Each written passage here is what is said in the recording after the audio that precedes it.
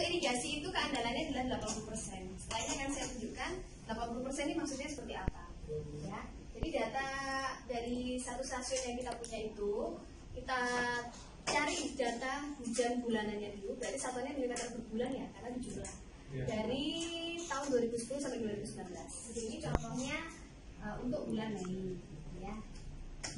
2010 tadi sudah saya hitung di sini 33 kemudian 2011 nya 9 terus berikutnya berapa? 28. terus 139 139 lalu 259 59 besarnya ya. terus 50 50 215 15 121 121 90 20 292 Ya. Setelah itu data ini kita urutkan, ya kita urutkan dari kecil ke besar. Mei urut gitu ya. Mana caranya ngurutin? Sort, data, sort dari kecil ke besar. Oh, iya. Ini ya. 9, 28, 33 dan seterusnya paling besar 292. Menurut Anda, Anda berani ngomong ke petani itu hujan itu ada sebesar berapa selama bulan Mei? Anda mau berani nggak bilang 292? Karena terlalu optimis. Kalau bilang 9 kayak apa? Terlalu pesimis. Berarti berapa dong ya? Tengah-tengah, kalau tengah-tengah itu berarti eh, 50% letaknya sekitar ini ya. 50% itu di sini. Jadi kita bilang ke petani 90 dan 121. Itu ya maksudnya. Nah, tapi sudah ada ketentuannya untuk irigasi ini di, di buku ada ya nanti saya tunjukkan sama Anda. Jadi keandalan keandalan irigasi itu 80%. Kalau yang keandalannya 50% itu adalah air untuk air untuk industri 50%. Kalau tingkat kepentingannya pemanfaatan air itu lebih tinggi, berarti keandalannya persentasenya juga lebih tinggi. Jadi ini ini ada ketentuannya ya sudah sudah internasional ya bahwa untuk uh, industri itu 50%, kalau irigasi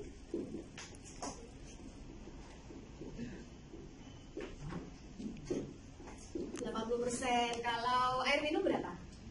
PDAM. 100% Nah, dalam hidrologi itu nggak ada 100 persen atau 0 persen. Iya. Adanya 99,99. Sembilan. Air minum berapa persen ini? Kira-kira logika aja. 95. 95. 95 ya. 95 Bu. PLTA logika aja. PLTA itu 50. 50 persen. Kalau PLTA mau dikasih 80 persen ya nggak apa-apa. Jadi lebih aman kan ya. Yang paling kenapa air minum lebih tinggi keandalannya dibanding irigasi? Karena risiko yang dibebankan oleh oleh apa mengelola air minum itu lebih tinggi daripada irigasi kalau terjadi kegagalan. Iya. Irigasi kan bisa ngandelin hujan, ngandelin air sungai gitu ya. Iya. Tapi kalau air minum kan seandainya diambil dari sumber ya sudah sumber aja kan tak mungkin dicampur sama air sungai. Iya.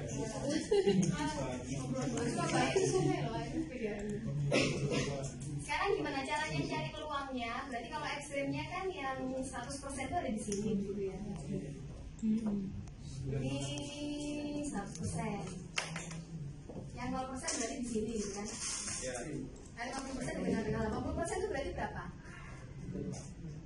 Antara 28 sama 33 ini. Iya. Biasanya kita ngambil urutan ketiga. Jadi Iya. 33. Urutan ketiga ya. Rumusnya itu sebenarnya kalau mau dicari secara teori, rumusnya ada di sini.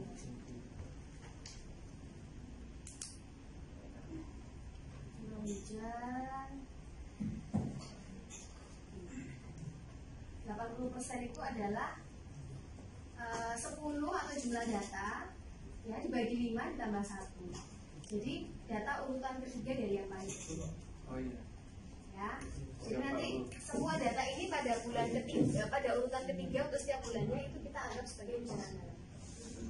ya Nah, silakan dicoba kalau mau yang bulan berikutnya berapa Ada yang mau tanya? Andalan ya, yaitu memiliki keterandalan 80% dari yang paling kecil. Ya. Jadi keandalan yang lebih tinggi itu berarti memberikan nilai debit yang lebih kecil ya. Kalau besar. Mestinya kalau kita meng- mengandalkan air minum ini lebih tinggi daripada irigasi, berarti debitnya lebih kecil. Ya. Yang kita janjikan itu lebih kecil. Gitu. Ya.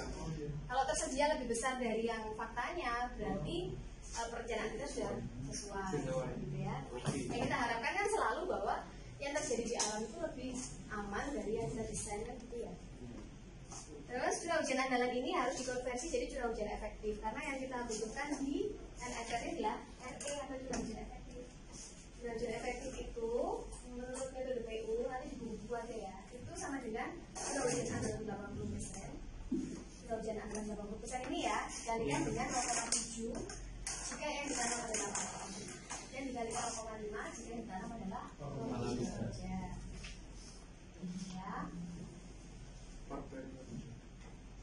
ini curah hujan efektif periode 1 sama dengan angka ini dikali dapatnya kalau padi 0,7 gitu ya Ya. kalau palawija ini untuk padi ini untuk palawija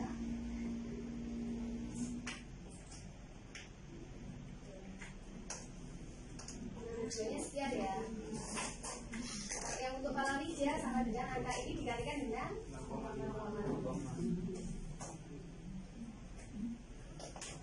ini curah hujan efektif periode kedua untuk palawija ya Terus setelah itu dimasukkan di tabel yang NFR ini. Ya, tadi bulan April curah hujan efektifnya apa? Berapa? Karena ini kan pagi ya. Ya. Berarti kita pakai yang April periode satu yang pagi. Ini berarti ya. Yang periode duanya Mei-nya ada hujan ya. Ya. Seterusnya ya. Terus eh, NFR ini berarti sama dengan GFR dikurangi curah hujan efektif. NFR sama dengan GFR dikurangi dengan hujan efektif. Nah, ini kan minus berarti ya. Minus itu berarti maksudnya apa? Eh, hujannya lebih besar daripada kebutuhan. Berarti ini kalau minus harusnya kita nggak butuh irigasi kan? Ini berarti ditulis nol. Atau anda pakai positif nanti? Tuh. Ini berarti kebutuhannya yang paling besar tetap aja periode pertama bulan Mei ya karena pas pengolahan lahan kebutuhan airnya banyak hujannya nggak ada. Berarti kebutuhannya air dari irigasi dari sungai itu 33,553 meter per hari. Meter per hari ya. Sudah